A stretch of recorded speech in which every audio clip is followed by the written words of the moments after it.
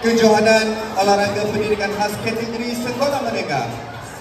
dengan memperoleh 5 pingat emas, 7 pingat perak dan 7 pingat gangsa disandang oleh sekolah menengah kebangsaan Said Hussein. Pingat perak menghani oleh SMK Syed Hussein dengan catatan masa 58 menangani oleh SMK Syed Hussein dengan catatan masa 68.6 saat menangani oleh SMK Syed Hussein dengan catatan masa lelaki 19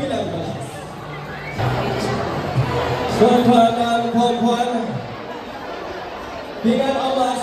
acara Empat kali 100 meter Lelaki 19 Dimenangi oleh SMK Syed Hussein Dengan catatan masa Acara empat kali 100 meter Perempuan 19 Pingat gangsa Dimenangi oleh SMK Syed Hussein dengan catatan masa 70.8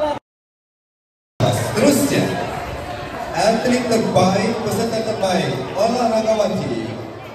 kategori perempuan 19 tahun sempena kejohanan olahraga pendidikan khas 2024. Atlet ini telah memperoleh pingat emas bagi acara 200 meter, pingat emas bagi acara 100 meter dan pingat emas bagi acara lompat jauh. Olahragawati kategori 19 perempuan dinobatkan kepada Nur Nadia Sabina binti Muhammad Tua dari SMK Said Hussein.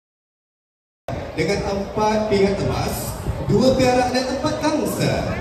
disandang oleh SMK Said Hussein